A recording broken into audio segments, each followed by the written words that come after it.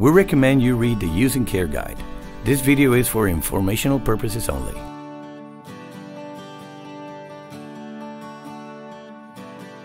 If you want to fill your washer manually, follow this procedure. First, add the detergent at the bottom of the basket. Then, add the softener in the agitator. Dilute the softener with warm water. Load your garments in loose heaps evenly around the agitator. Select Manual Fill with the load size knob. Select the cycle and soil level adequate for your load. Press Start.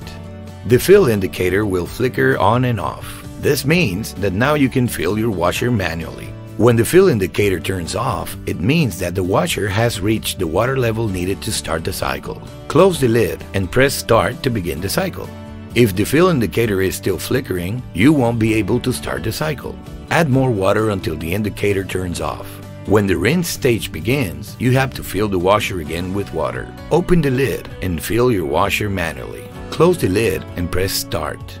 Now, wait for the cycle to be completed.